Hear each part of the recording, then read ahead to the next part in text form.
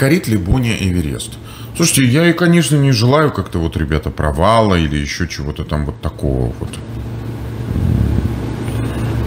Я ей желаю, ребята, только какой-то победы над самой собой. Я ее тут в этом смысле поддерживаю. Пусть идет.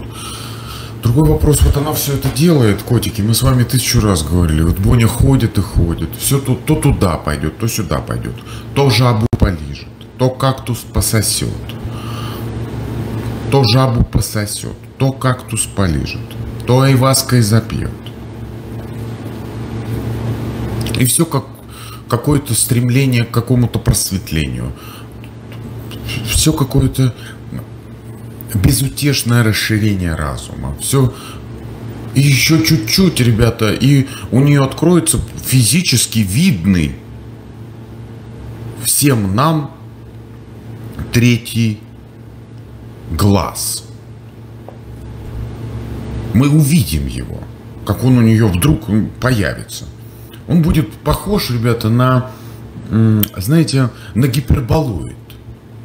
На какой-то бесконечный вектор какого-то движения. Куда-то туда, ребята. Она будет этим глазом, точнее лучом, который будет исходить из этого глаза, разрезать время, блядь, и пространство. Честно. Вот все восходит и восходит. Некоторые все выходят и выходят. Вот так и Боня, ребят. Все восходит и восходит к вершинам разума. Послушайте любое интервью, ребят. Это, это до стыдного. Это какой-то совершенно совершенно какой-то неразвитое что-то как-то неловко слушать. Угу.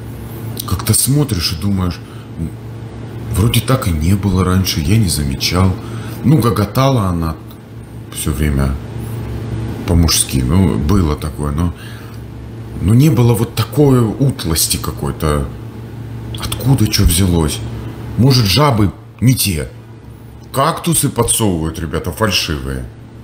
Маленькие. А надо большой лизать. Что такое? А что случилось? Все какое-то какой-то уровень, ребят. Бедненький. Какой-то бедный уровень вот этого всего. Так хочется услышать. Кстати, баба нализалась жаб, ребят. Ядовитых. И у нее приходы. Приходы со всех сторон. А рот открывает и картошка, пюрешка, лучок. Редиска. Все.